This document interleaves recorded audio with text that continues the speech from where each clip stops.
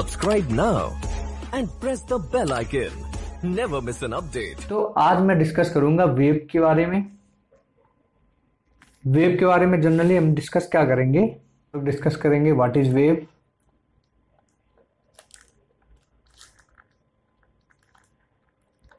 application of wave application of wave third way discuss करेंगे हम लोग। Types of wave types of waves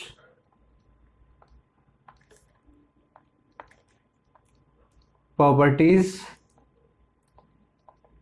of wave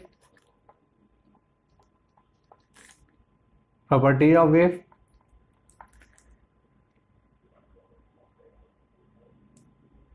properties of wave इसके बाद हम लोग डिस्कस करेंगे electromagnetic magnetic radiation electromagnetic radiation and their wavelength so guides start करते हैं। सबसे पहले हम लोग डिस्कस करेंगे व्हाट इज़ वेव ये बहुत ही हम लोगों ने काफ़ी चीज़ें देखी हैं लाइक लाइट लाइट का जो ट्रांसमिशन होता है वो भी in the form of wave होता है। अभी मैं डिस्कस करूँगा वेव क्या है, लेकिन मैं उसके पहले एग्जांपल बता दे रहा हूँ ताकि थोड़ा माइंड आपका बन जाए। लाइट हो गया। साउंड साउंड इज़ आल्सो एक वेव है। इलेक्ट्रिसिटी जो ट्रांसमिट हो रही है, वो भी in the form of wave. These are the example of waves. Example of waves. तो वेव जनरली है क्या तो it is a generally transmission of energy transmission of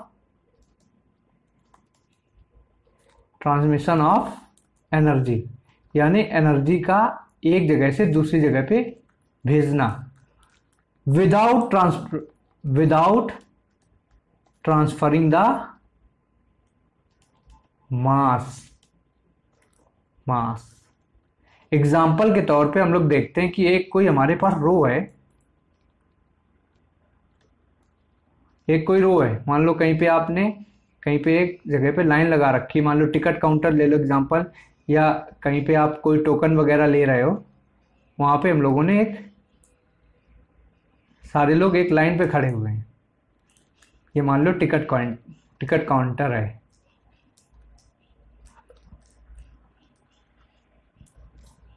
तो यहाँ से पीछे से किसी ने फोर्स लगाया। फोर्स लगाया किसी ने। ये इसने फोर्स इसको लगाया, इसने इसको लगाया, इसने इसको लगाया, इसने इसको लगाया, इसने इसको लगाया, इसने इसके लगाया। ठीक है? ये फोर्स जो आपने लगाया तो ये क्या हुआ? आगे की तरफ़ थोड़ा झुक गया। सारे लोग जितने भी थे, वो आगे की तरफ़ थोड़ा झुक गए।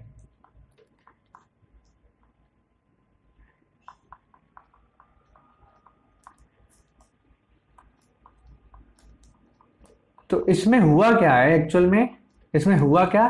इसने जो फोर्स लगाया था, यानी इसने कुछ एनर्जी यहाँ पे दी। कुछ एनर्जी इसको दी। वो एनर्जी आगे इसके पास आई, इसके पास आई, इसके पास। आपने देखा कि ये जो फ़र्स्ट कैंडिडेट था, ये अपनी पोजीशन पे ही है। लेकिन इसने क्या किया? अपने पास जो एनर्जी आई, वो आगे ट्रांसमिट कर दी। आगे इसने क्या किया? ट्रांसमिट कर दिया। तो आगे की तरफ़ ये सारे थोड़ा झुक गए, ठीक है? अब इसने क्या हुआ कि इसने एनर्जी का ट्रांसमिशन तो किया। ट्रांसमिट ऑफ़ एनर्जी एनर्जी तो ट्रांसमिट की इसने, लेकिन ये खुद जो है, खुद उसी पोजीशन पे रहा। इसकी पोजीशन जो है, वो फिक्स है। पोजीशन जो है, वो फिक्स है।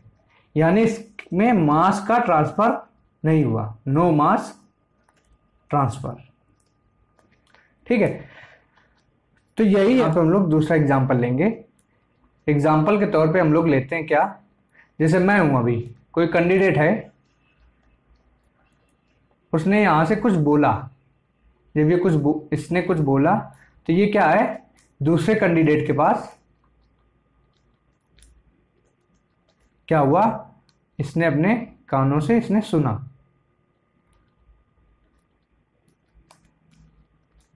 तो ये क्या है?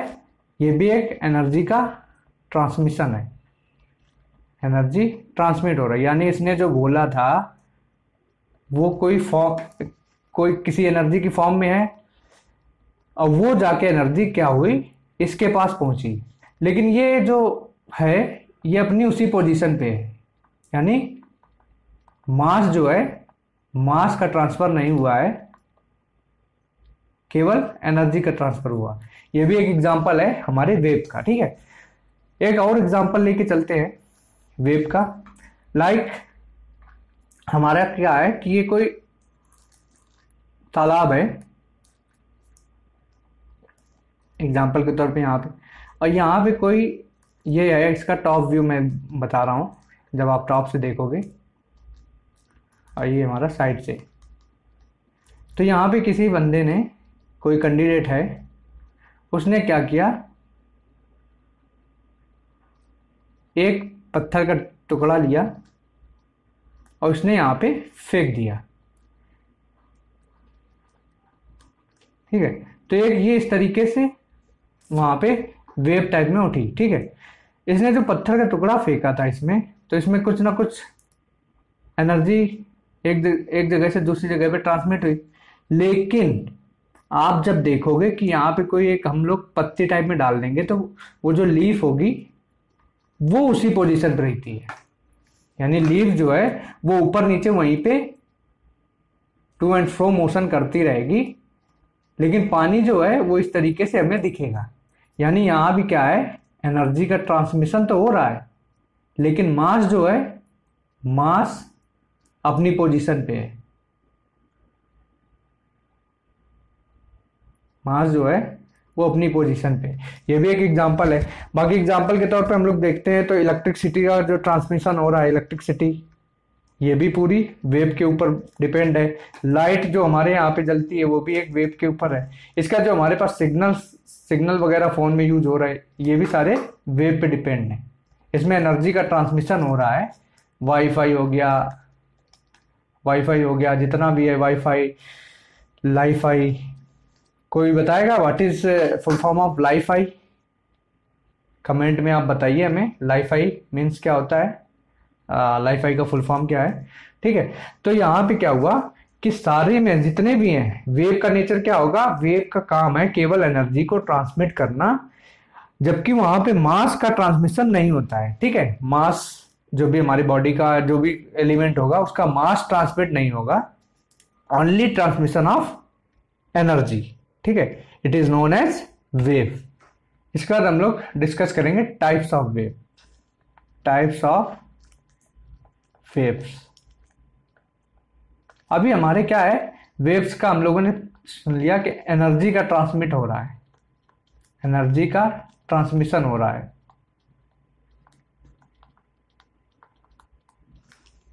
From one to another.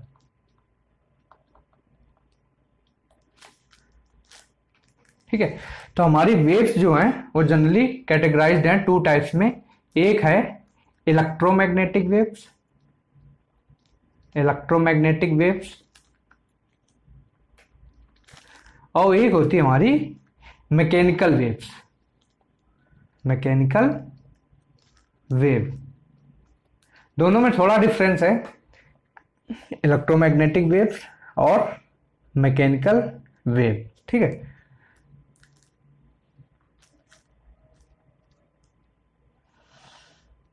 Example के तौर पे हम लोग देख लेते हैं लाइट जो है। It is a example of electromagnetic wave इसका मैकेनिकल वेव का एग्ज़ाम्पल हमारा जो साउंड वेव है। Sound wave sound wave vibration ये जितना भी है it is example of example of mechanical wave ठीक है? Mechanical wave is also categorise into two parts mechanical wave को भी दो भागों में बांटा गया like transverse transverse wave and second one is longitudinal wave. Longitudinal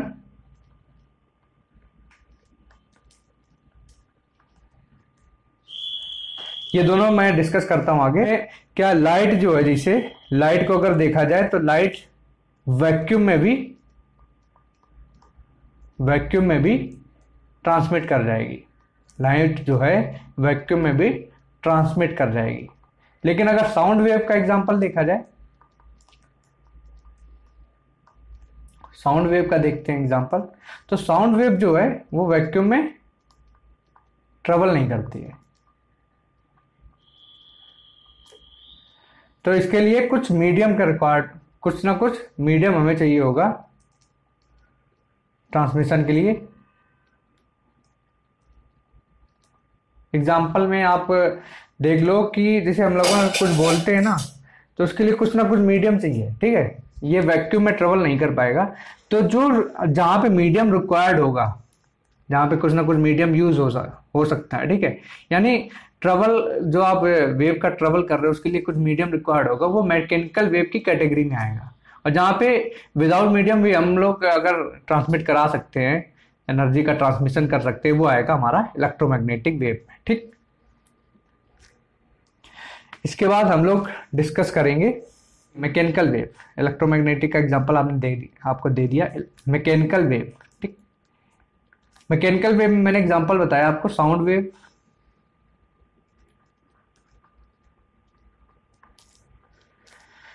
mechanical wave जो है, दो भागों में कैटेगराइज है। एक है ट्रांसवर्स और दूसरा longitudinal longitudinal wave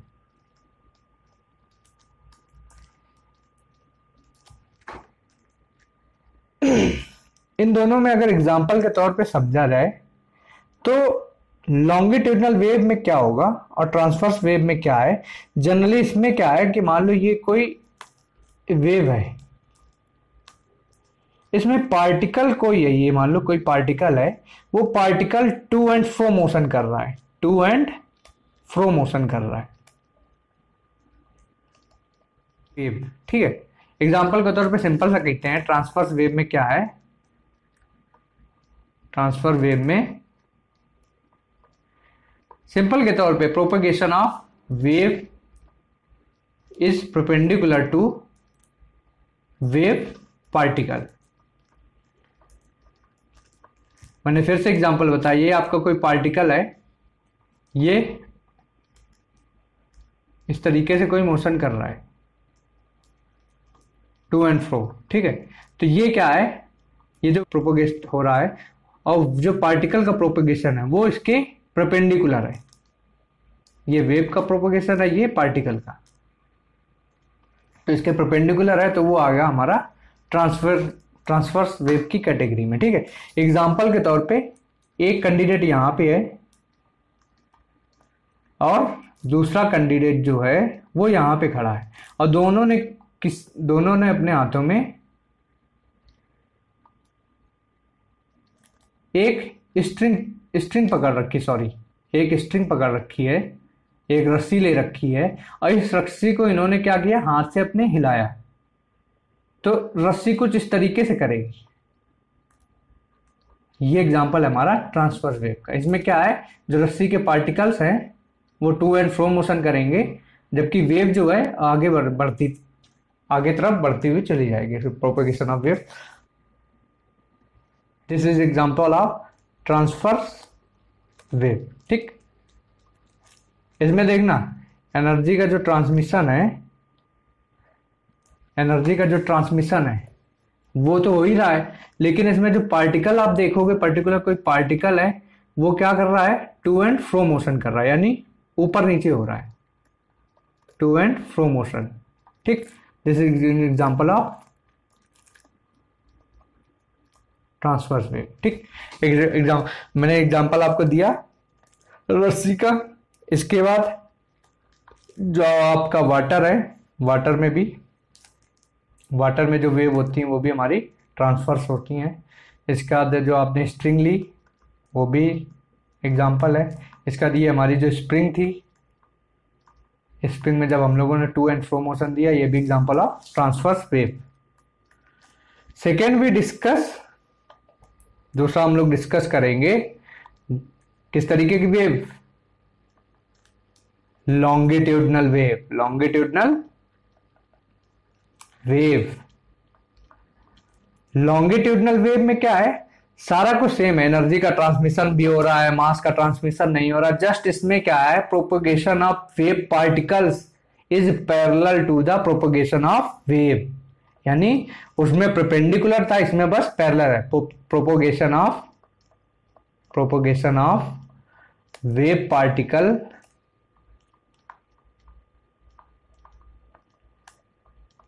is parallel to the propagation of propagation of क्या? वेव एग्ज़ाम्पल के तौर पे साउंड ये भी क्या है? लॉन्गिट्यूडनल इसमें जनरली है क्या? इसमें बैक एंड फॉरवर्ड मोशन होता है, ठीक है? बैक एंड फॉरवर्ड यानी इस तरीके से। सेम एग्जांपल के तौर पे ये हमारी कोई वेव थी। अभी क्या था? उसमें particle to and fro motion कर रहे थे। इसमें पार्टिकल क्या करेगा? इस तरीके से, आगे पीछे मोशन करेगा। पीछे आएगा, आगे जाएगा, ठीक? इसमें पार्टिकल हमारा to and back and forward motion करता है, ठीक? एग्ज़ाम्पल के तौर पर ये साउंड वेव ठीक? इसमें क्या है ये सारी चीज़ें जो है, हमारी आगे तरफ़ जा रही। दूसरा एग्ज़ाम्पल आप स्प्रिंग का भी ले सकते हो। स्प्रिंग है ये कोई।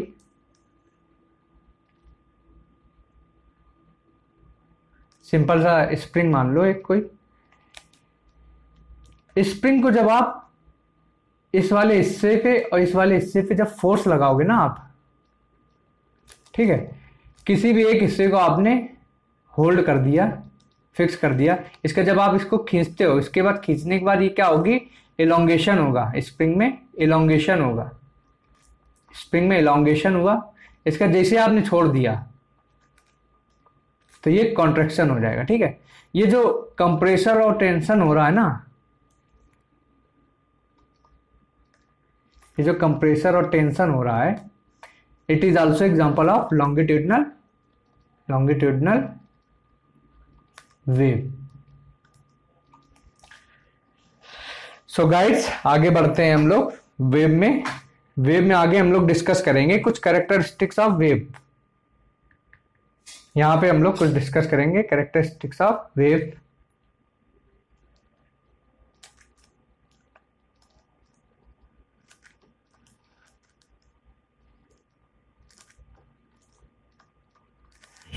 वेव लेंथ की। Wavelength. वेव लेंथ अगर देखा जाए तो हमारे पास कोई भी वेव होती है, सिंपल सा टू एंड फ्रो मोशन या कोई भी किसी भी तरीके की, वेव कुछ इस तरीके से हमें दिखती है। जब हम लोग उसका ग्राफ बनाते हैं तो कुछ इस तरीके से दिखते हैं साइनोसाइडल वेव कोसाइन वेव ठीक है? तो ये कोई सोर्स था, कोई भी सोर्स आप ले ले, ठीक है? ये कोई क्रस्ट होगा वेब का। इसको बोलते हैं ट्रॉफ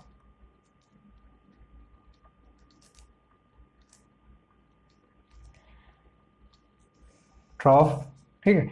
और ये जो ये चीज़ है, इसको बोलते हैं एम्पलीट्यूड ये सारा मैं अभी डिस्कस करूँगा एक एक एम्पलीट्यूड ठीक? और यहाँ से एक जो पूरा आपका क्रस्ट से क्रस्ट की जो डिस्टेंस होती है ना, एक क्रस्ट से क्रस्ट की या फिर एक ट्रॉफ ट्रॉफ से ट्रॉफ की डिस्टेंस जो है, इसको बोलते हैं वेव लेंथ फिर से मैं रिपीट कर रहा हूँ, जो ये आपका ये डिस्टेंस है ना, ये, एक क्रस्ट से दूसरे क्रस्ट, जो नेक्स्ट एडजासेंट क्रस्ट आएगा, उसकी बीच की डिस्टेंस को ही बोलते हैं वेव लेंथ अब लेंथ है तो लेंथ का आपको यूनिट पता ही है सिंपल सा। किसमें हम लोग मेजर करते हैं? मीटर सेंटीमीटर डेसीमीटर जितने भी हैं माइक्रोमीटर इनमें सब में हम लोग इसको बताते हैं, ठीक है? Angstrom it is also unit of length ठीक है? तो वेवलेंथ क्या है? सिंपल सा वेवलेंथ हमारा क्या है? One crest one crest distance between distance distance between one crest to adjacent adjacent crest ठीक है? दूसरा क्या है? Wavelength is also wavelength is also inversely proportional to energy ये बहुत ही इंपॉर्टेंट है। हमें पता होना चाहिए जितनी ज़्यादा जिसकी वेवलेंथ होगी, जितनी ज़्यादा मैक्सिमम वेवलेंथ होगी तो एनर्जी क्या है? उतनी कम होगी, ठीक है? यानी हम जो रेडियो वेव्स होते हैं, जैसे जैसे हम लोग नीचे की तरफ़ जाते हैं ना रेडियो वेव माइक्रोवेव्स ठीक है? विजुअल रेज जो भी एक्स रेज कॉस्मिक रेज इनमें क्या है? सारा कुछ डिपेंड करता है वेवलेंथ के ऊपर, ठीक है?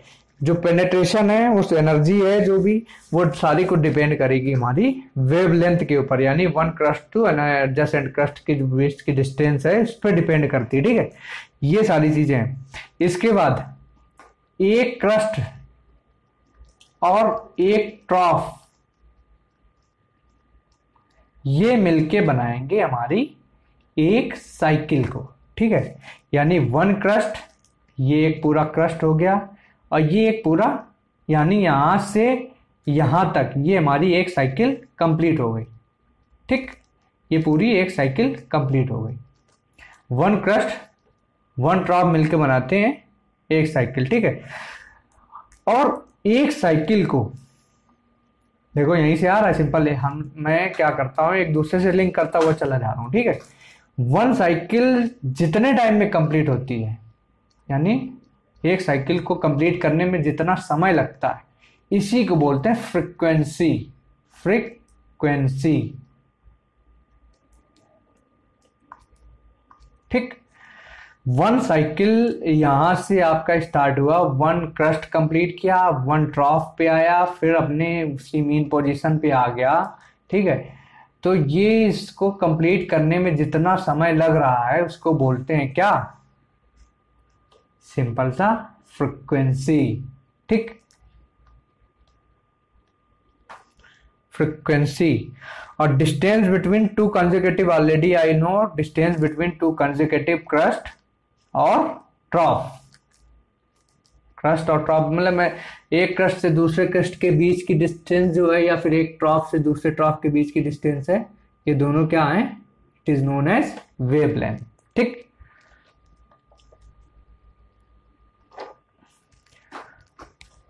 आगे की तरफ़ हम लोग बढ़ते हैं। तो फ्रिक्वेंसी मैंने आपको बताया। फ्रिक्वेंसी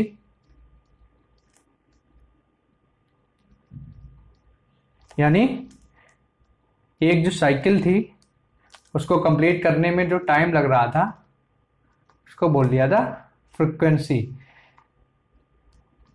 आप हमें कमेंट करके बताइए कि अपने इंडिया में जो इलेक्ट्रिकसिटी जो ट्रांसमिट होती है, वो घरों में जो बिजली हमारे आ रही ना वो उसकी फ्रिक्वेंसी कितनी होती है? इंडिया में फ्रिक्वेंसी कितनी यूज़ होती है? और यूएसए में? जो लाइट का ट्रांसमिशन होता है ना?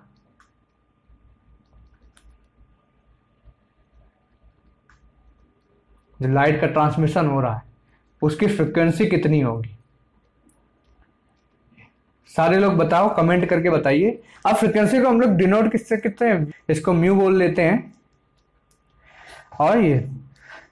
तो फ्रिक्वेंसी का अनदर मैं बता देता हूँ डिस्कशन डिटेल में। Number of waves passing through a point number of waves passing through a passing through a point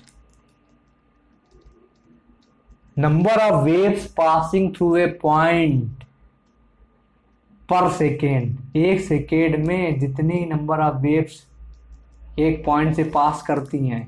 उसी को हम लोग बोल देते हैं क्या? फ्रिक्वेंसी एग्ज़ाम्पल के तौर पे ये।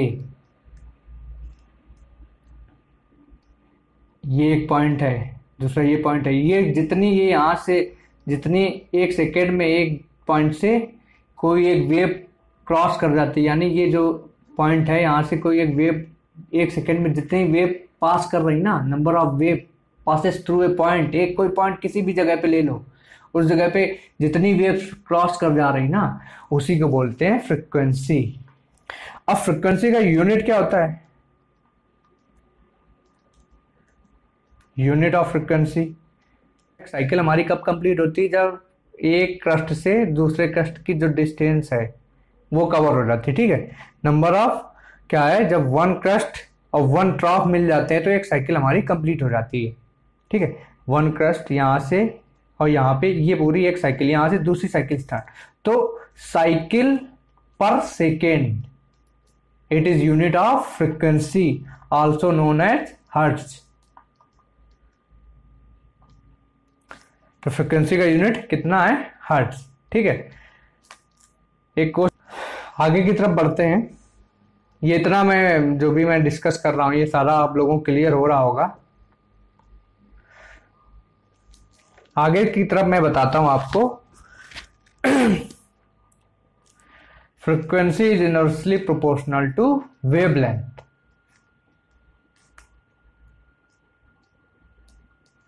frequency is inversely proportional to wavelength and direct discuss करेंगे wave number wave number wave number क्या होता है? Total number of wave present per unit length total number of wave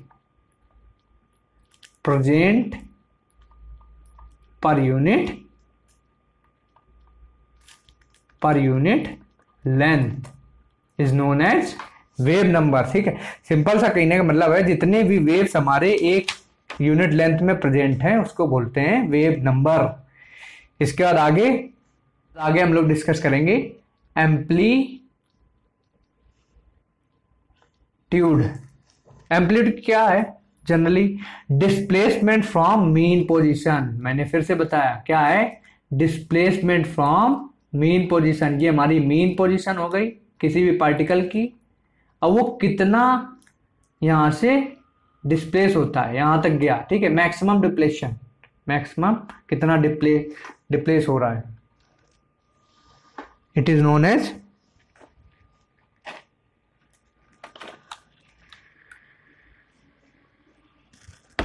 it is known as amplitude ठीक? यानी displacement from mean position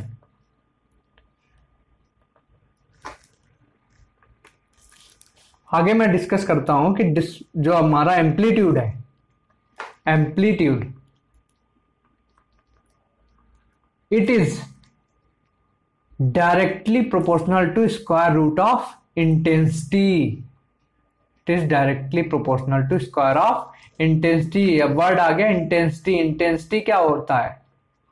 Intensity intensity is nothing but energy transmitted per unit area. Energy transmitted per unit area in unit time ये हमारा कोई है, ये कोई surface है, ठीक है? इसमें कोई वेव्स आई, ठीक है? वो एनर्जी लेके आई, कुछ एनर्जी ये जो एनर्जी यहाँ पे हिट कर रही है पूरे एरिया में पर्टिकुलर यूनिट टाइम में, इसी को बोलेंगे इंटेंसिटी ऑफ़ वेव ठीक है? It is intensity is directly proportional to square of amplitude same वही मैंने डिस्कस कर दिया यहाँ पे. Intensity is directly proportional to square of amplitude is it is also, it is also proportional to number of photon, number of photon per unit area. In unit time in unit time ये क्या है? Photon क्या है? जैसे हमारा electrons होते हैं, उसी तरीके से क्या हमारी जो लाइट्स है, ठीक है? उनको हम लोगों ने बहुत छोटे छोटे स्मॉलेस्ट बंडल्स में बांट रखा है तो उसी एक बंडल को बोलते हैं फोटोन ठीक? Things, intensity is directly proportional to in, energy, ठीक? यहीं से आपकी जो प्लांक थ्योरी आई है, यहीं से ही प्लांक क्वांटम थ्योरी जो है हुआ है ठीक? प्लांक क्वांटम थ्योरी अब प्लांक क्वांटम थ्योरी मैं डिस्कस करता हूँ आगे। एक्चुअल में हुआ क्या था? साइंटिस्ट थे दो साइंटिस्ट एक थे मैक्सवेल जिनके आप लोग ऑलरेडी इक्वेशन पढ़ते हो थर्मोडाइनमिक्स में। थर्मोडाइनमिक्स में हम लोग इक्वेशन पढ़ते हैं। एक थे मैक्सवेल और एक थे मैक्स प्लांक ठीक? दोनों ने एक ही बात कही, बस उसमें थोड़ा डिफरेंस हो गया। इन्होंने दोनों लोगों ने 1906 में एक बात बोली कि every electromagnetic waves travel with a velocity of light every electromagnetic magnetic waves travel with speed of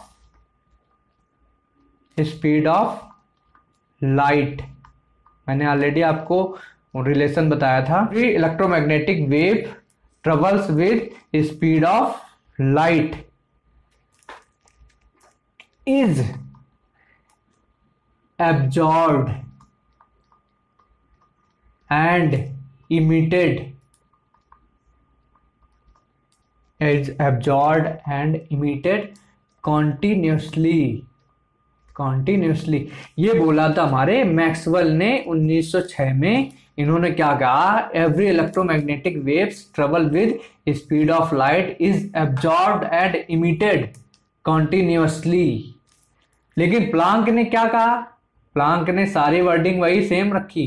Every electromagnetic waves travel with speed of light is absorb and emitted discontinuously discontinuously जिसकी वजह से Max Planck को क्या मिला? Max Planck को Nobel prize मिला।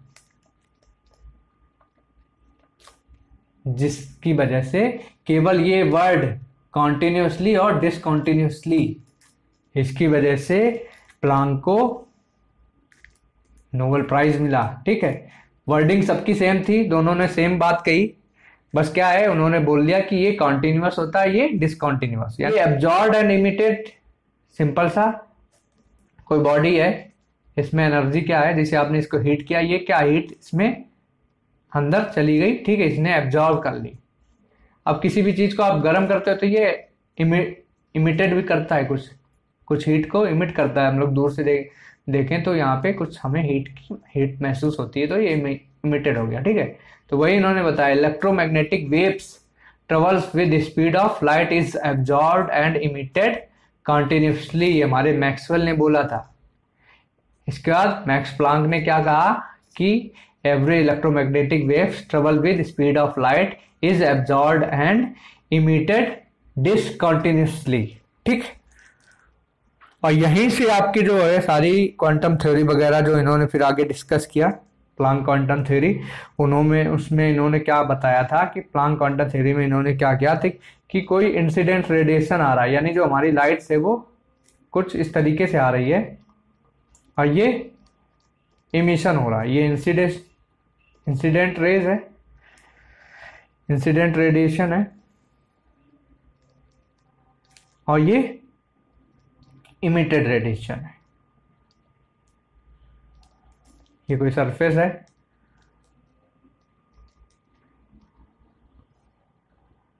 ठीक है? तो जब ये हमारे डिस्क्रीट मैनर में डिस्क्रीट मैनर में ये सारी प्रोसेस डिस्क्रीट मैनर में होगी तो वहीं से हमारा क्या हुआ? क्वांटम वहीं से हमें क्वांटम मिला, ठीक है?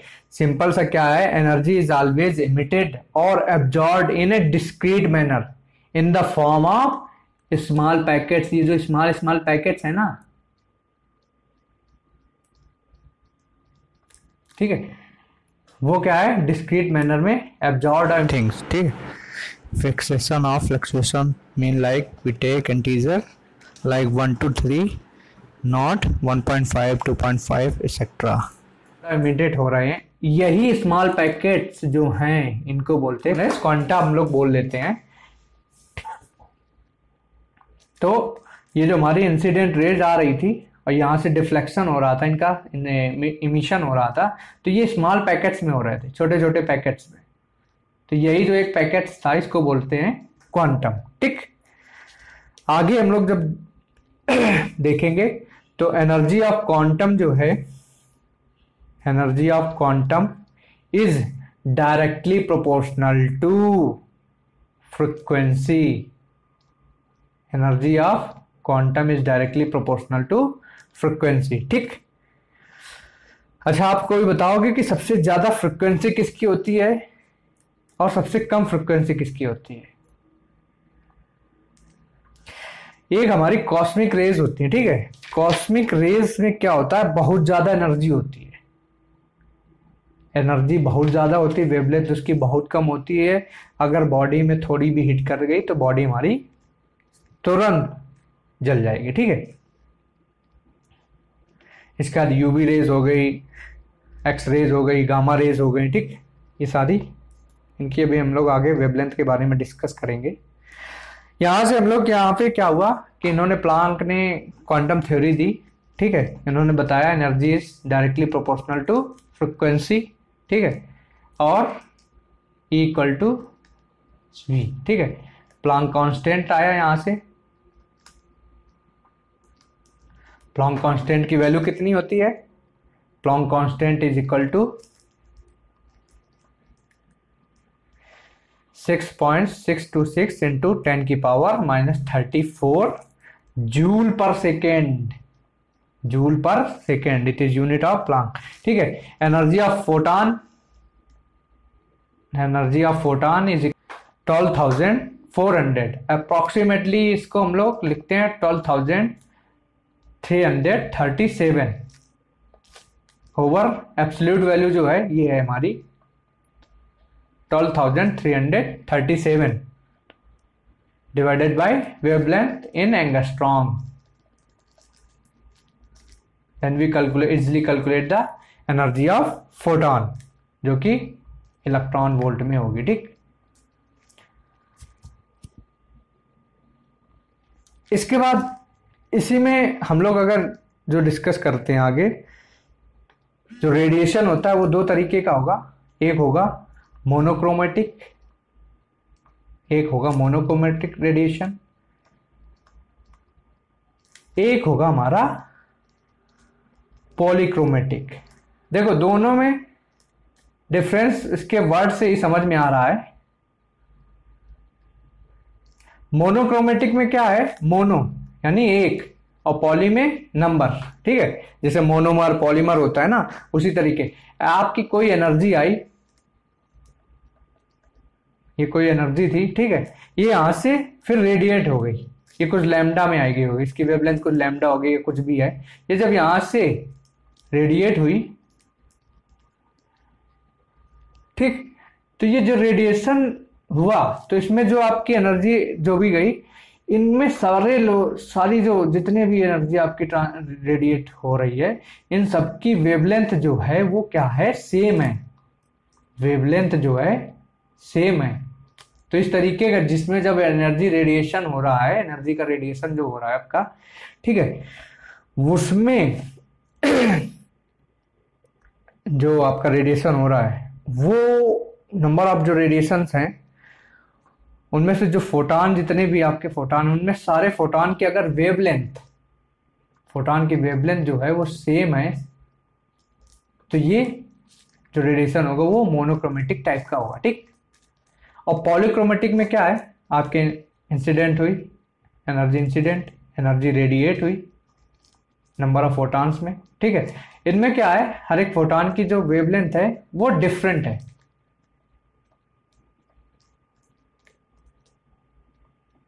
डिफरेंट ठीक है? वेवलेंथ डिफरेंट ठीक? It is known as polychromatic radiation आगे बढ़ते चलते हैं हम लोग। वहाँ पे हम लोग क्या करेंगे? आगे हम लोग डिस्कस करेंगे। Number of quanta calculation equal और दूसरी चीज़ हाँ जो हमारा क्वांटम वगैरह जो है, सारा रिलेशन वो मोनोक्रोमेटिक रेडिएशन से रिलेट करता है, ठीक है? जब हम लोग कैलकुलेशन ऑफ़ क्वांटा करते हैं, वो सारा कुछ किस पे है? Number of quanta calculation is depend on monochromatic radiation ठीक है?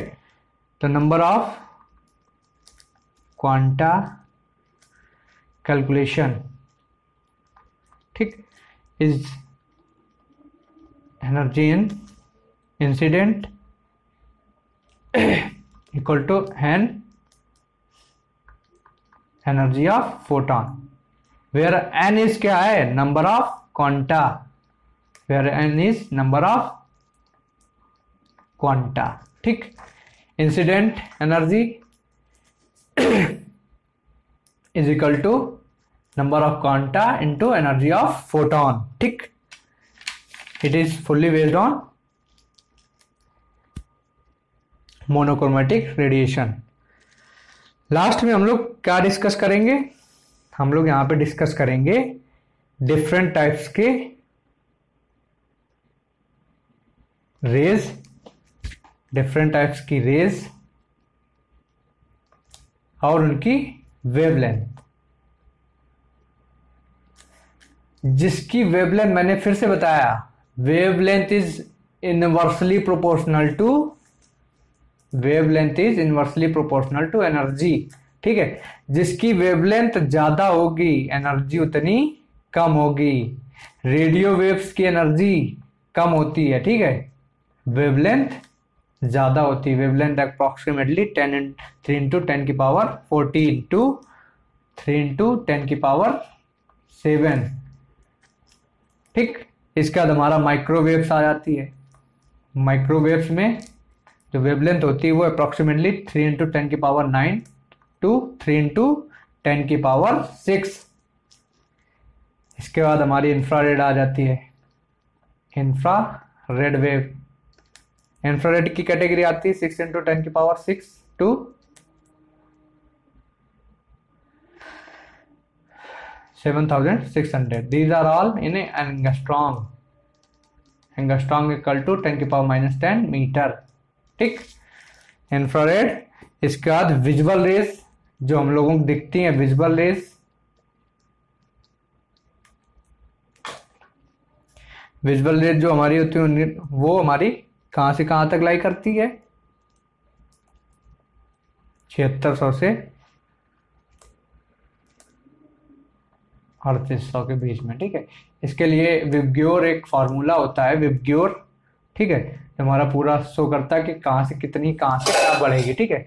सबसे ज़्यादा रेड इसका सबसे कम वेवलेंथ वायलेट की, ठीक है? Penetration power of red is more visual rays के बाद आती है हमारी ultra violet UV ultra violet which is very harmful for our body ultraviolet UVA UVB is very harmful for our body जिससे हमारे स्किन कैंसर के ज़्यादा खतरे रहते हैं जो हमारी ए, सन है। सन जो एमिट कर रहा है ना लाइट उससे हमारी इंफ्रामेट रेड सॉरी अल्ट्रावायलेट रेज आती है ठीक? अल्ट्रावायलेट रेज जो है अड़तीस सौ से डेढ़ सौ के बीच में होती है ठीक है? डेढ़ सौ इन स्ट्रॉन्ग अल्ट्रावायलेट के बाद एक्स रेज एक्सरेज बहुत ज़्यादा आपको पता है। एक्सरेज इज़ जनरली हम लोग हमारी हड्डी टूटती या कुछ भी होता है तो उसको देखते हैं ना, हम लोग जाके एक्सरे कराते हैं तो हमारी उसमें बोन्स बोन्स में जो भी है। रीजन क्या होता है कि X rays is nothing but when cathode rays is passing through any metallic body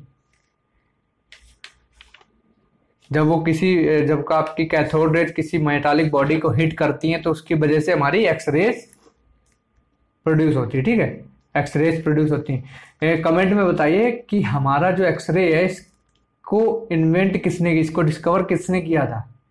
Who discovered it who discovered it who discover X rays ठीक है?